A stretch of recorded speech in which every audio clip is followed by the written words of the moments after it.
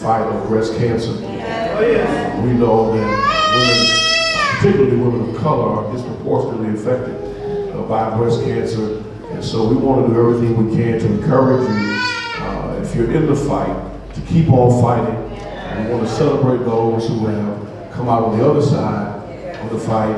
You know, we want to be, amen, we want to be. Amen. And, and we want to be intentionally proactive for those who have not yet entered the fight. Uh, that you take whatever preventative measures you can uh, to get ahead of this thing. But it's, it's uh, always good uh, to have a health and wellness ministry that keeps us uh, just abreast of these things and make sure that it keeps us on the, on the forefront. And so I want to say to those that are survivors that we're proud of you, we're, we're grateful that you're still here. Uh, amen.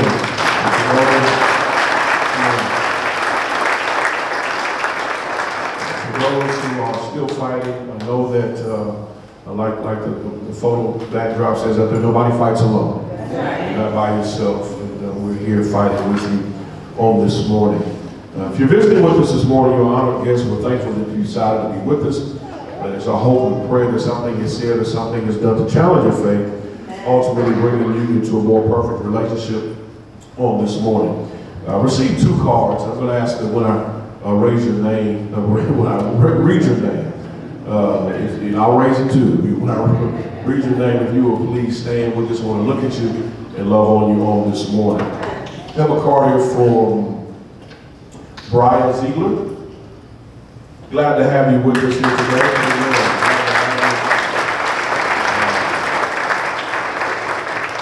With us on today. If you just raise your hand, one of our ushers will bring you, oh, that one, of our ushers is going to bring you a little small token to let you know how much we appreciate you being here with us on today. Now, this next card that I have, I, I, was, I was looking for when I, uh, I didn't know she was going to be here today. Uh, but this next card is from Tamia uh. Berry, who is from the Martin Luther King Elementary School uh, that we've done a lot with, and uh, just has been a great partner for our Eastside congregation. She had asked me to record a, a video uh, that had nothing to do with that. It was just some cheesy stuff, and I was like, that I'm too cool for that. And, and so uh, she was like, well, I still need the video. I said, you, you show up at Eastside and you'll get that video. And lo and behold, so I'm gonna make a video at the church to me. Stand up so these people can look at you. That is how you do it. Uh, over at uh, Martin Luther right down the street. Uh, we have any business here that we did receive a card from, but actually you would just raise your hand, uh, the ushers will bring you a card, fill out that card in its entirety, and then just hold it up when you finish, and we'll, we'll uh, acknowledge a little bit later in service. But we do, again, We have visitors that didn't fill out a card, if you would simply hold up your hand, and we will get one uh, to you. Turn to Exodus 14. Put your thumb there, we'll be there in just a moment. Trying to get my bearings. It's been a couple of weeks since, since a bit of folks that got baptized and gave their lives to Christ. And, all that product involved. So we're going to acknowledge them here uh, at the conclusion as well. Uh, just trying to, good to see you, Michael. Good to see you. Y'all got time for one more song this morning.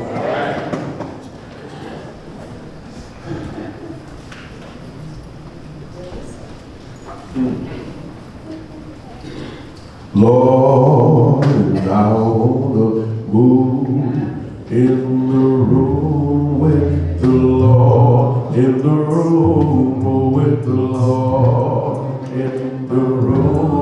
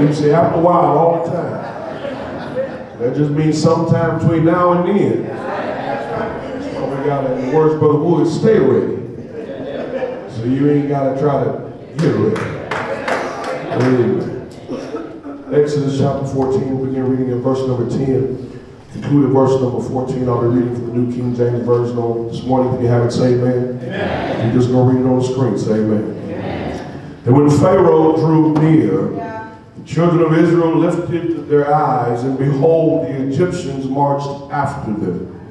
So they were very afraid. The children of Israel cried out to the Lord. Then they said to Moses, Because there were no graves in Egypt, have you taken us away to die in the wilderness? Why have you dealt with us to bring us up out of Egypt? Is this not the word we were told you in Egypt, saying, Let us alone that we may serve the Egyptians?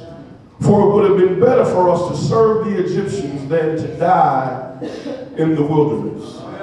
Verse number 13, and Moses said to the people, Do not be afraid. Stand still and see the salvation of the Lord, which he will accomplish for you today. For the Egyptians whom you see today, you shall see again no more forever. The Lord will fight for you.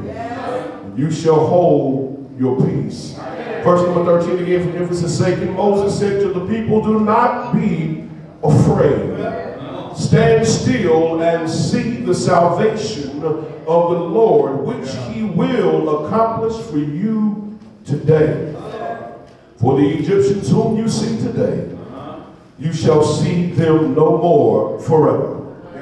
For the Lord will fight for you. and You shall hold your peace. You may be seated this morning.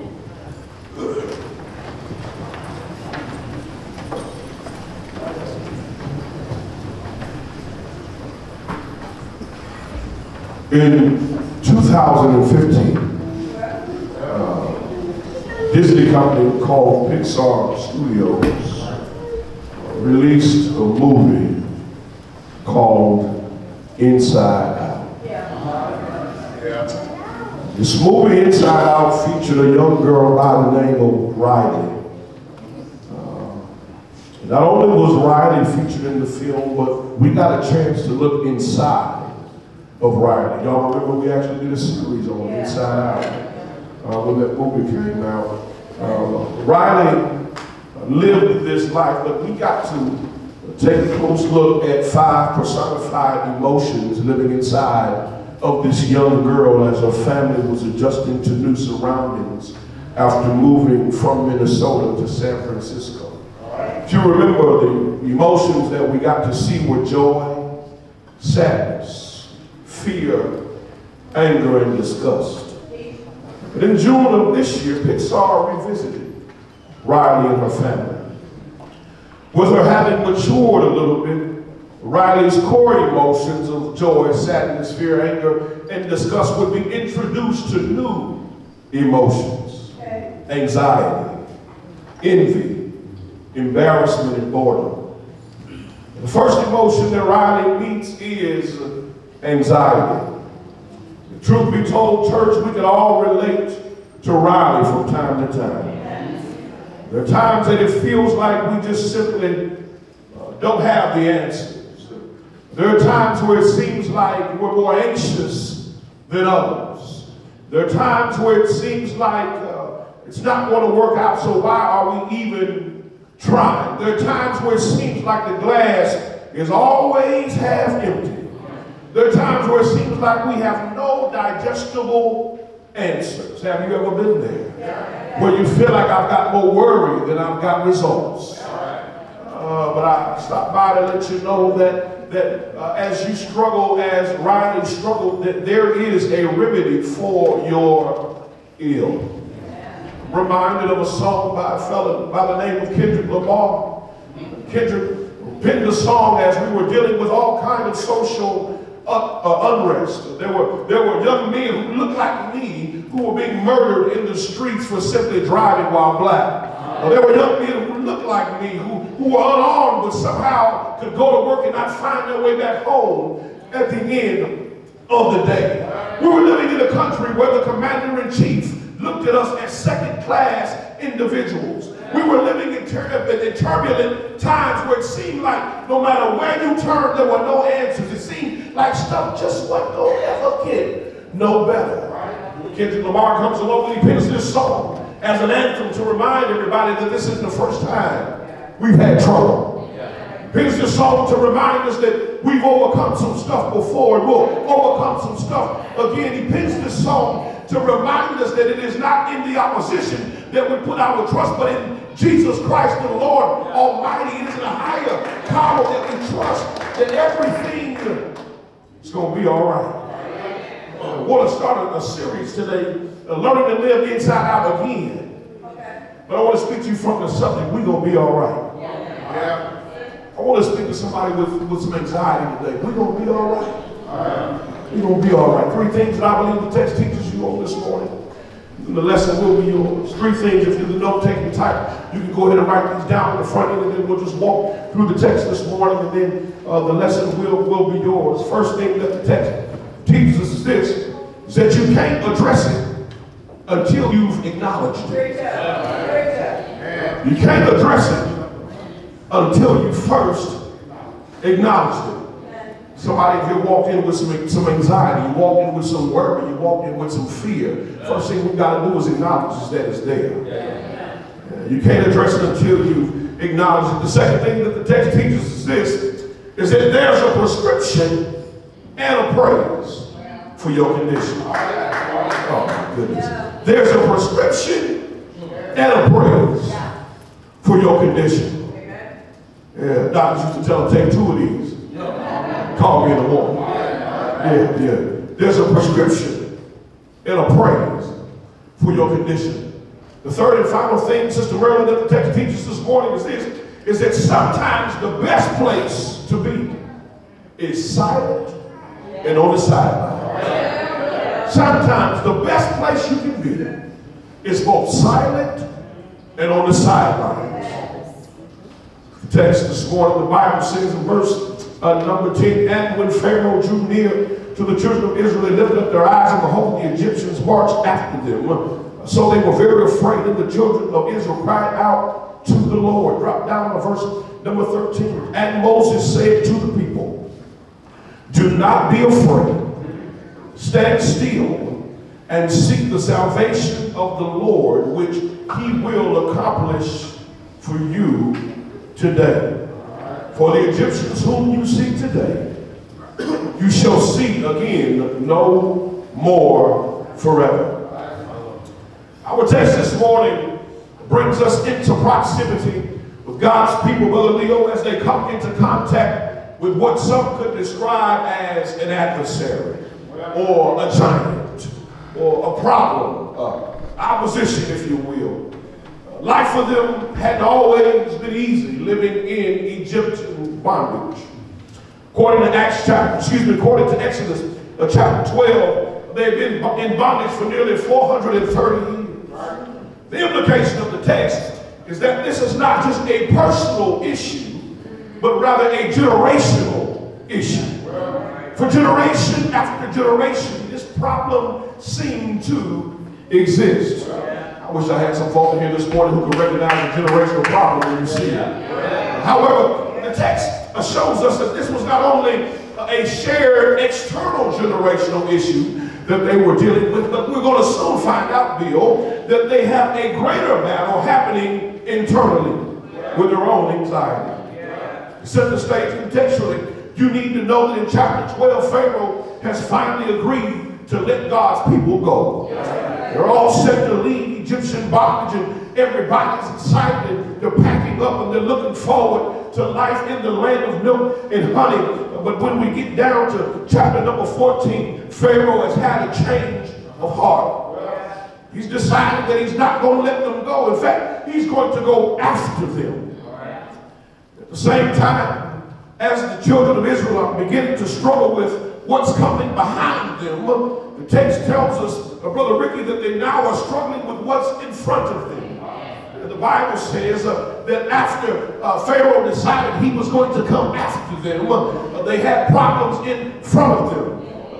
As they're running away from Pharaoh, they come up close and personal with the Red Sea. They've got to the Red Sea, and now anxiety is beginning to flare up yet again. You know how it is when you feel like I just solved the problem, and here comes another one. You ever been there when you feel like I just got everything to make sense, and then here comes something else throwing the whole equation. I just got these bills to balance, and here comes this. I just got it all figured out. I'm gonna get the kids to school and get them to practice and get me to work. And all of a sudden, I never been there before. Which seemed like right when I got it figured out. Text said they had already cried out to the Lord about what was behind them. But now they face something in front of them. Text says that anxiety begins to flare up amongst the children of God as they're standing at the Red Sea. You need to know that in our text, just a couple verses earlier, ready for you this morning, that Moses' direction, his leadership, and his concern for the people was questioned in a rather aggressive and apprehensive and accusatory manner. They had finally been able to break away from Pharaoh and all the bondage that came with that relationship. Can you imagine what it must have felt like to finally be able to get rid of uh, having to deal with Pharaoh generation after generation after generation. When you break a generational curse, it ought to do something to your spirit. That's why I don't understand why folk who look like me have the nerve to say that you don't plan on voting if you understood the generational barrier after generational barrier after generational barrier. You want to be running to the poll. Even if you got to sit there and suck your thumb till they open the door. If you understood curse, it would do something to your spirit. The Bible says that they began to question Moses. They said stuff to him like, why are you bringing us out here? Did you bring us out here so we can just die in the wilderness? Were, were, were there not enough graves in Egypt? Uh, George had the nerve to say, and I want you to catch this, we would have rather stayed in bondage than be free. Oh my God, I wish you could see. Uh, we would have rather stayed in bondage just because we knew what was going to happen as opposed to step out on faith in freedom and trust God because I don't know what's going to happen. Oh, I stopped by to let you know, Sister Bruce, that some of us aren't living the same way. God has opened the door and He's asked us to step out on faith, and some of us refuse to step out on faith because we don't know what's out there. I like living in this toxicity. I like living in this bad space. I like living even though I'm struggling where, where I'm living because at least I know what's going to happen. Oh, they said you must have brought us out here right there because there weren't enough graves for all of us in Egypt. Oh, Bill, I've been gone for a couple weeks, but I still got an early word for you on this morning.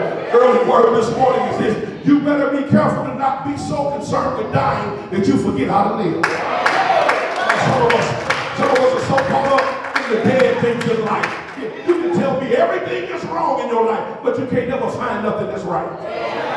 Well, they said, ah, we, we, we must have been brought out here because he brought us out here to die. It's, it's the anxiety in them that's starting to flare up on this morning. But Moses tells them, Michael, when we get down to verse number 13, he's trying to get them to understand that I've got somewhere that I'm responsible to lead you to be. I've got somewhere that God has called me to take you. I've got somewhere that you've been wanting to go. But before we move any further, you got some stuff you got to deal with.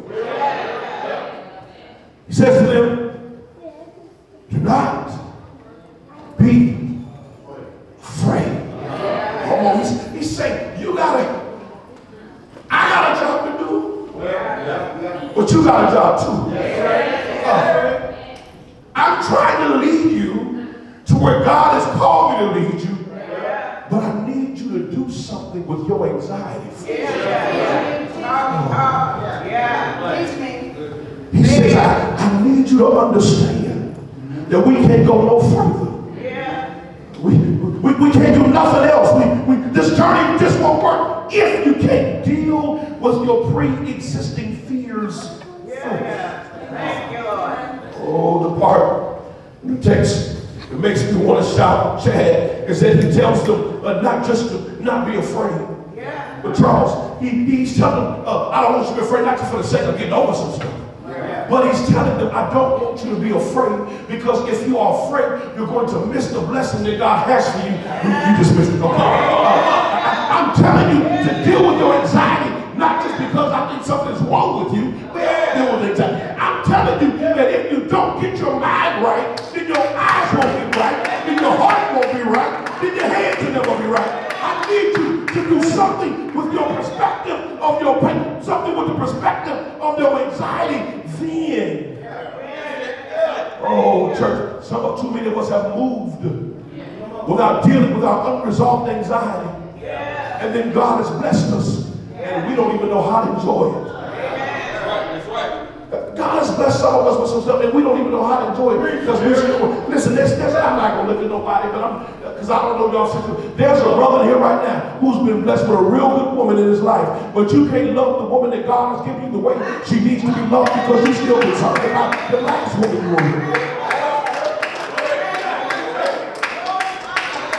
Oh, there's a sister here, Chad, that God is blessed with a good God-fearing man, and you can't love that good God-fearing man the way he needs to be loved because you still worked up about some stuff that the last man didn't do that he might do. He said, I need you to deal with your anxiety so you can enjoy your blessing. Don't be, don't be afraid. Oh, church, listen, I know they felt alone. They probably felt just, you know, all worried. And, because sometimes anxiety will take you to some dark places. Oh, but I stop by to let you know that if you stay in a dark place long enough, you'll find some light. Light only exists where darkness was. You just missed that. So he says to them, don't be afraid. I know it must have been rough. It had to be difficult to know that there was a problem behind you and a problem in front of you. Because the truth of the matter is, sometimes following God is hard. They were in a place that was uncomfortable for them. Yeah, yeah, yeah, yeah. And sometimes, church, God has to, sometimes God has to strip us in order to save us. Um, sometimes He's got to take everybody and everything from around you uh, to, to, to get us to fully and completely rely on Him. Oh, I know they got all the way to that Red Sea and they got frustrated. Every I know they got there and they saw that Red Sea in front of them. And they said, now we're going to run from this joker and we'd have finally made it out here. And I know Moses had to know the sea was over before we got to, I can't believe we here at this Red Sea. And I'm all worried because if the thing in front of me don't kill me, then the thing behind me don't kill me. I could have stayed in there and at least died with some dignity. Frustration will do some stuff to you. You need to know, church, the frustration will either make you quit or it'll make you become creative. When you get frustrated, either you're going to wash your hands or you're going to pull up your pants. Uh, either you're going to walk away or you're going to roll up your sleeves. So glad that Moses decided that they were going to keep going and follow God. You need to understand that he knew that although they were afraid that God had something better. I, I know y'all just had Bible class this morning, ladies. Like you had to, that nevertheless was on the way. They had to go through this so they could get to that. You need to understand uh, that, that anxiety and fear are not the same thing, but they are the same thing in a different and extended manner. There is a direct correlation between fear and anxiety. Amen. Thank you. Matter of fact, anxiety often manifests itself as fear. Amen. Fear is is is concern. Uh, it- it- it's a core emotion. Yeah, yeah. Uh, it- it's a rapid response to an immediate threat. Yeah.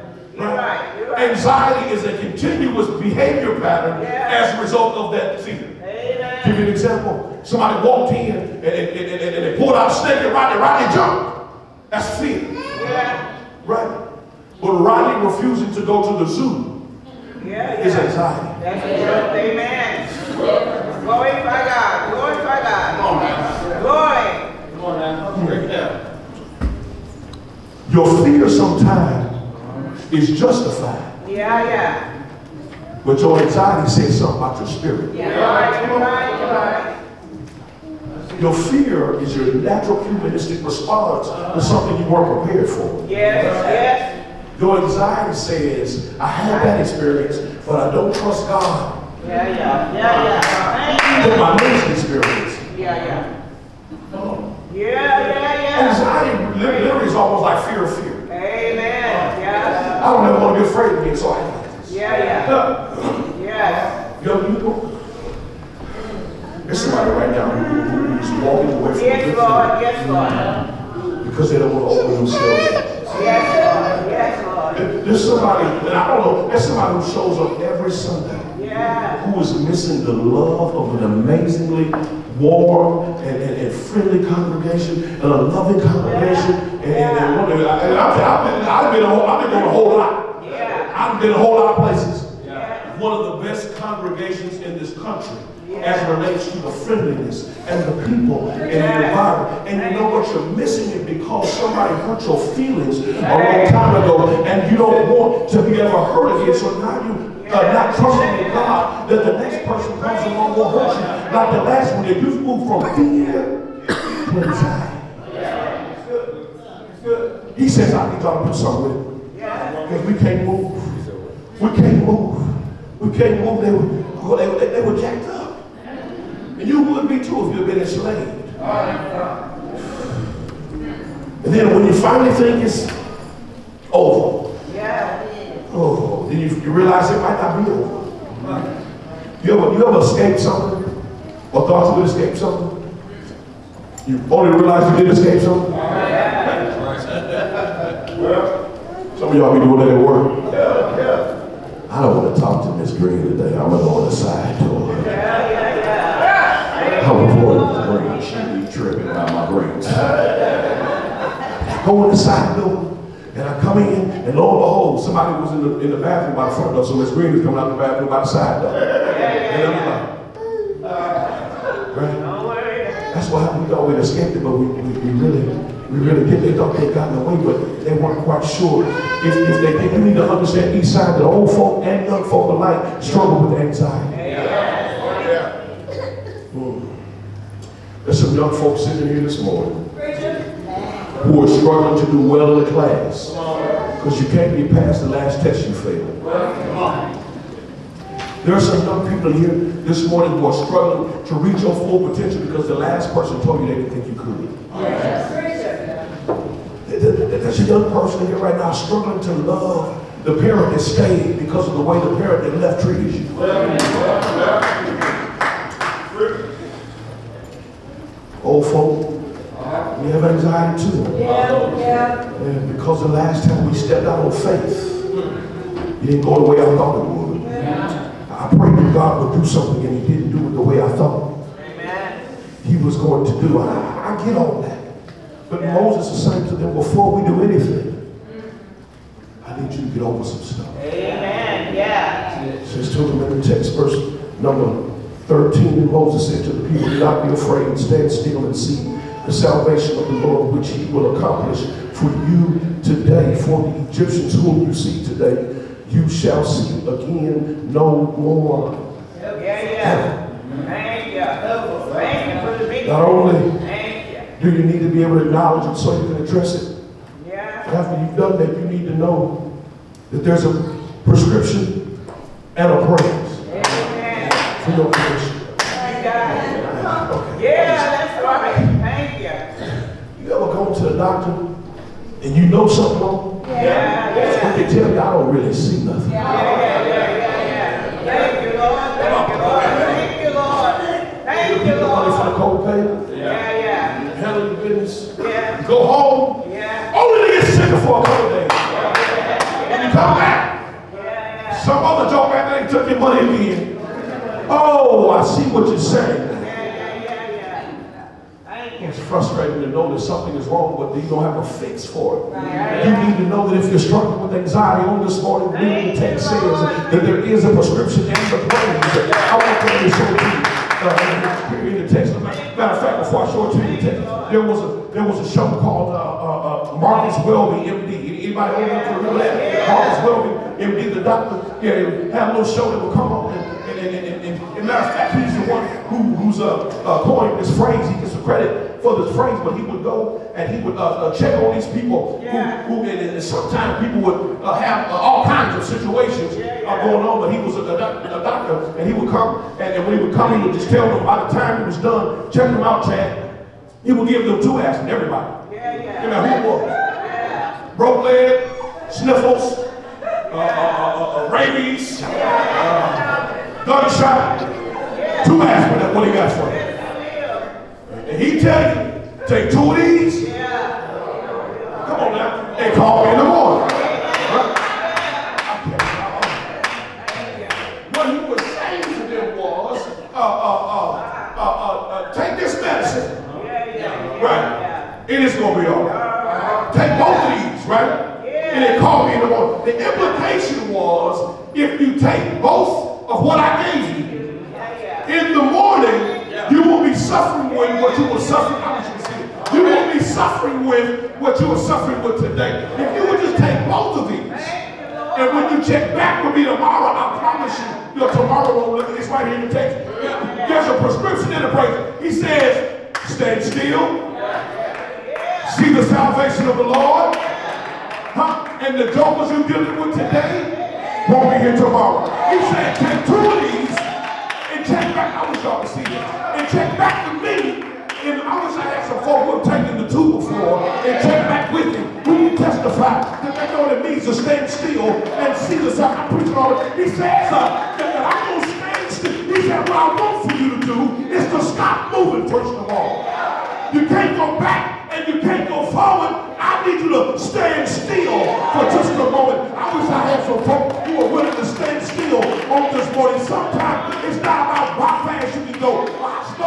Sometimes I just gotta sit still and watch God, be God, as He works on my life, as He works on my job, as He works on my family, as He works on my finance, as He works on my health. He tells me to stand still, not because He doesn't want them to move, but He wants you to stay out of His way.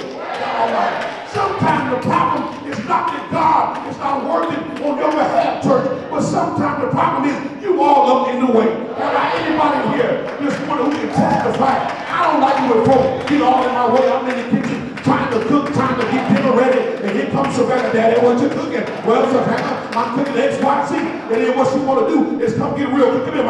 She want to come get real close to me, like, you know, like that mean I'm going to fix her plate first or something. Well, what you doing? What kind of chicken? Is it baked chicken? Is it fried chicken?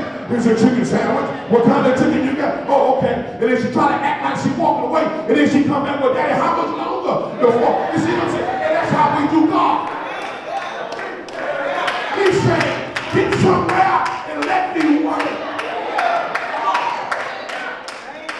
Stand still. That's two dosages of one pill. You gotta stand, but you gotta be still. He's telling you to stand. That word stand in the Greek literally means to have a base. Because you're gonna see some stuff. Gonna knock you off your feet if you ain't ready.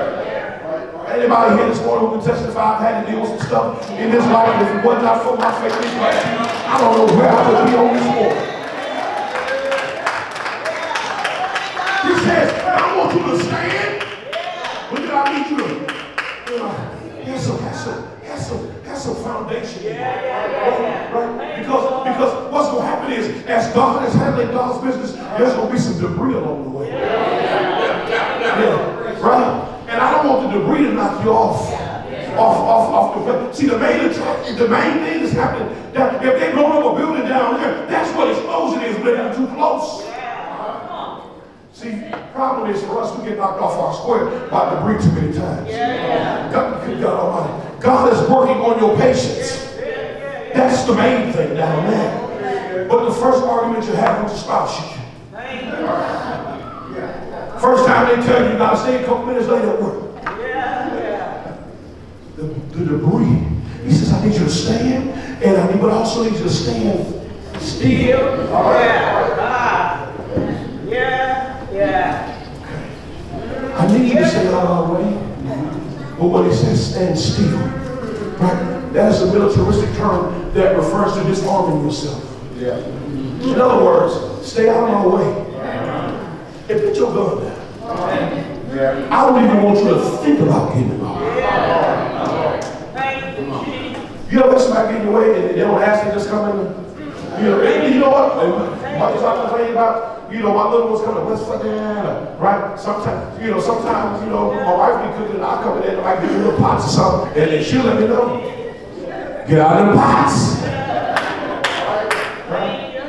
I might come in there, you know, Jill, listen, if, if my wife never go to prison, I'm, just, I'm giving you context. If Jill never go to prison, she ain't killed nobody, she ain't stole nothing, Yeah. uh, uh, uh, uh, ain't no fraud. Right. If Jill go to prison, Yeah. it's because somebody would let her put some Lawry's in that food. You know how people say sunflower seed, they, I mean, she just keep Lawry's on that. You know. So from in there, yes, the apostle will come right back. Get out of this, come right behind me. Right? I might go in grab a little, little, little pepper something. Put it down! We got Lawry's. So I'm gonna like the doctor take two of brother. You don't, Jill, you don't need no hot sauce, no ranch, no ketchup, no butter, no bread.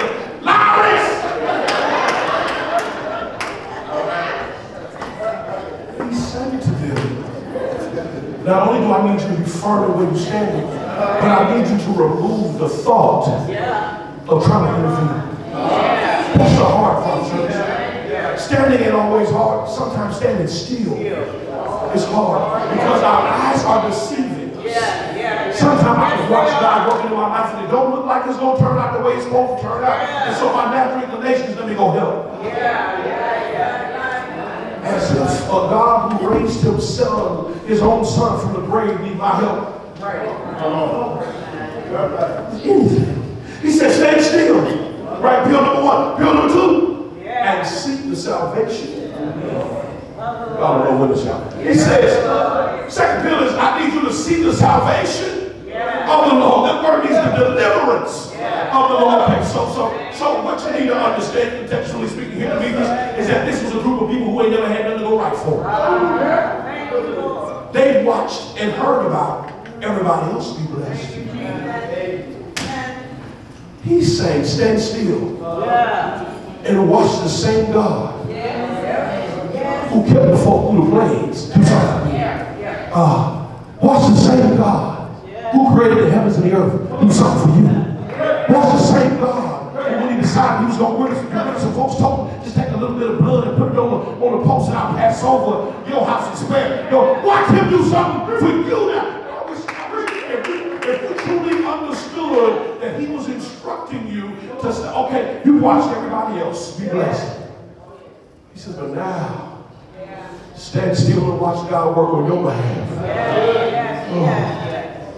Oh, thank you. Sometimes when you see him working, don't look good. Don't, Yeah. it, just, it just don't, you know. Yeah. You know, we like we, we like bosses like Mike Tyson. Right? Now, now! Yeah. First round, turn it off. We paid two hundred fifty-seven dollars. Mike done it in a minute. We all sit around looking at each other like, "What? That we some pizza?" Right? That's what we like. Then we complain about it. Right? I done paid all this money. You knocked that man out already. Yeah. Thank you, Lord. Right? But let a boxer get on. He want to go ten rounds. Thank you, Jesus. Twelve. You know, ooh. I don't know about him. He, he, he's just. What if I told you that this text is teaching us that you weren't called to fight this one? Yeah. You Yeah. were simply Thank called to endure it. Thank you. Thank Sit there and watch. Watch God works. Then, so he says, he says, uh, stay still. Right? Second bill. See the salvation of the Lord. Call me in the morning. He said, because these Egyptians, which you see right now, they will be here tomorrow. Yeah. Preach yeah. These, these, Egyptians, which you're facing, yeah. they won't be here tomorrow. Yeah, saying, like, like, like the doctor did, uh-uh, call me in the morning and I promise you it's going to look different than it do today. okay. I want Thank you, Lord. He is intentional in calling out the Egyptians. He doesn't say that the Red Sea that you're facing will be gone tomorrow. Go ahead. That's right. But the Egyptians that you, y'all see that? That you're facing. Y'all see that? The Egyptians whom you see today, you shall see them no more forever. Uh-huh. Right? Uh-huh. OutKast said forever, ever? Yeah. Never. Yeah. But, but I've got the Red Sea in front of me. Why are you talking about the Egyptians? Because anxiety says we struggle to get over what we got past. I'm still, he's telling them that, I want you to see this, Yeah. that a group of people that are behind them, you'll never see them again. Come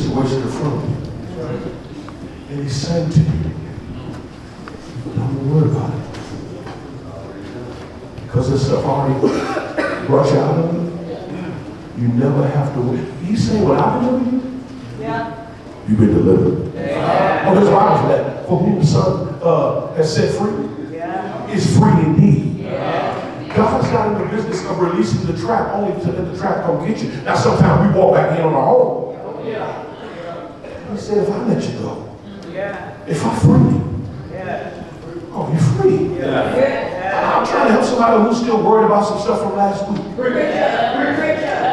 I'm trying to help somebody who's worried, who's still worried about some decisions that you made two months ago. And God has already worked on it on your behalf. Those Egyptians that you saw last yesterday, you won't see them no more. Huh? That problem you face, you're not going to deal with that tomorrow. If you simply stand still and allow God to work yes. on your behalf. Amen. He says, says me, he says, man, you, you, you, you ain't got to worry about saying no more.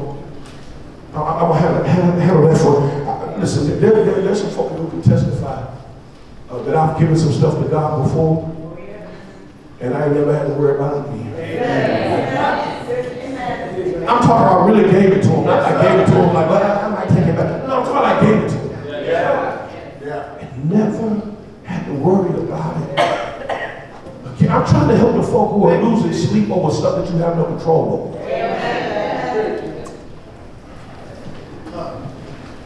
Third and final thing the text teaches us this morning is this, is that the best place you can be, sometimes, is silent and on the sideline. Sometimes the best place you can be is silent and on the sideline. He, he, he says to them, um, stand still and, and see the salvation of the Lord, the Egyptians. Right? You won't see them no more forever. Right? Um, but he tells them two things. The Lord will fight for you. Oh. Uh, the Lord will fight for you. What I need for you to do is hold your peace. Uh, the Lord will fight for you. But what I need for you to do is to hold your peace. Uh, You gonna do it? Yes, he will. Yeah, he will do it. He'll do it. if you understand that my prescription is to stay still to see the salvation of the Lord. Yeah. You understand that my praise is in the Egyptians being gone forever. Yeah. You understand that the Lord is going to fight for me. That I've got to know when to hold my peace. Um, he, he says to them, the Lord will fight for you. Uh, the Lord will step in. Okay. So, so, so, so, I want you to catch what he doesn't say. I, I promise you this about that. He doesn't say that there isn't a fight. Yeah. He doesn't say you're not under attack. He's saying, I just want you to be crazy enough to be under attack and not even worry about it.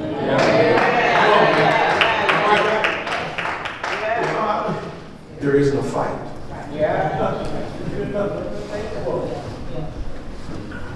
He doesn't say you're not under attack. He's saying, I just want you to be crazy enough to be under attack and not even worry about it.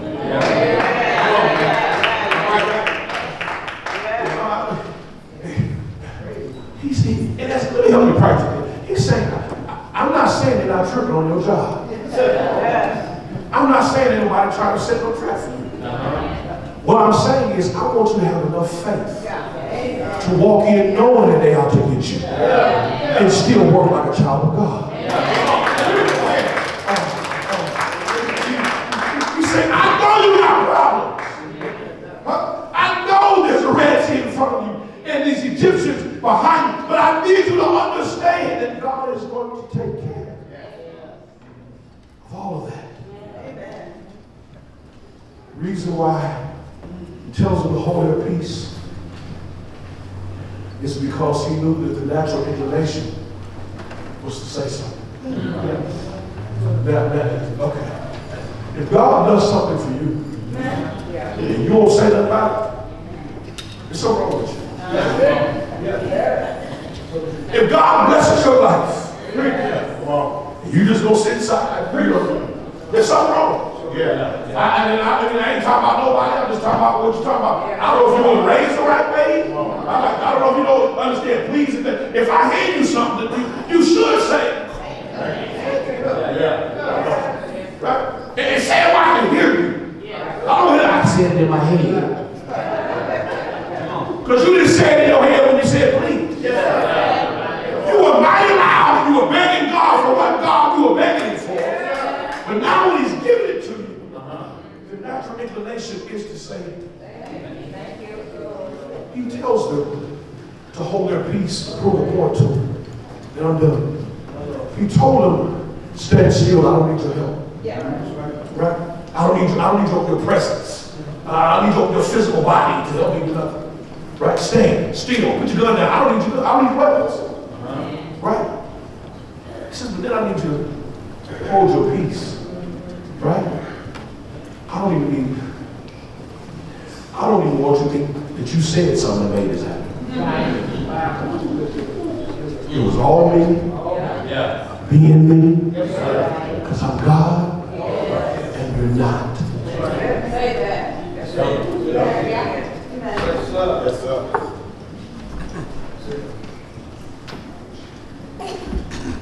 I want you to hold your peace because I don't know if it's real.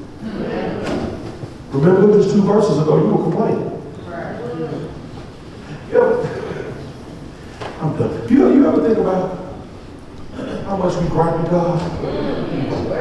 And we come right in and tell about, whole I love Jesus. He tells me, he says, you know what? Sit this one out. Let me handle it. Right? Save your voice right now. Right? Because there's gonna come a time when you're gonna need that. Right?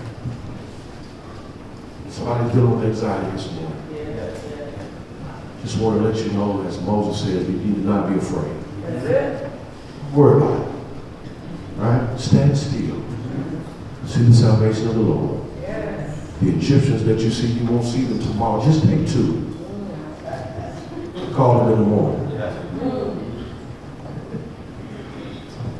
Oh, goodness. And, uh, when you listen, when you when you when you give it to God and God does what God does, and you, and you step back and just look at it, there, are no words to articulate gratitude yes, sir. in your heart. If you're doing this this morning, and you prayer. Maybe you've been struggling with your own anxiety. You've been allowing your anxiety to get the best of you. You, God has blessed you. You can't even enjoy it because you're still worked up. Let us pray with you. Let us pray for you. In just a moment, we're going to sing a verse of the song. We're going to invite you down for a time of prayer. Right? You can't enjoy the blessing of the promised land if you're still worried about what happened yesterday. Maybe you're here, you haven't named the name of Jesus. You haven't been baptized for the remission of your sins. I want to invite you to my Jesus. I want to invite you uh, to, to the one that I know who can make it all better. The Bible says in John uh, 3.16, For God so loved the world that he gave his only begotten Son, to whosoever believeth in him should not perish. Right? Should have uh, everlasting life. Should not and shall not not the same. Should means they're still good. Because there's more you got to do than just believing in it. Acts chapter 2, the church established the course that what must I do to be saved?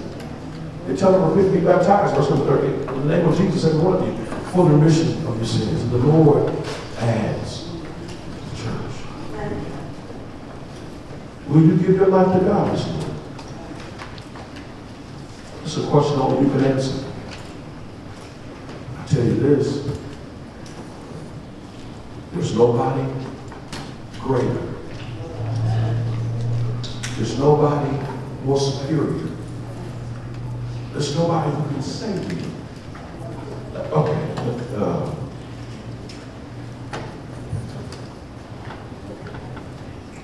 Muhammad had to die. John Smith had to die. Patterson had to die. Uh, uh, Franklin had to die. And I'm, I'm, I'm, I'm, I'm here all y'all. I'm here right now. Uh, even- matter of fact, you know what? Even my Jesus had to die. But you know the difference in my Jesus? Everybody else, he didn't stay dead. So I want to encourage you to give your life to the one who can raise you in the end. Stand to your feet, stand to your feet, stand to your feet. We'll ask to receive the responses, those brothers to come down. Uh, at, at this time, we'll sing a song of encouragement. Whatever you need, we'll ask you to come down front this morning uh, as we sing uh, a verse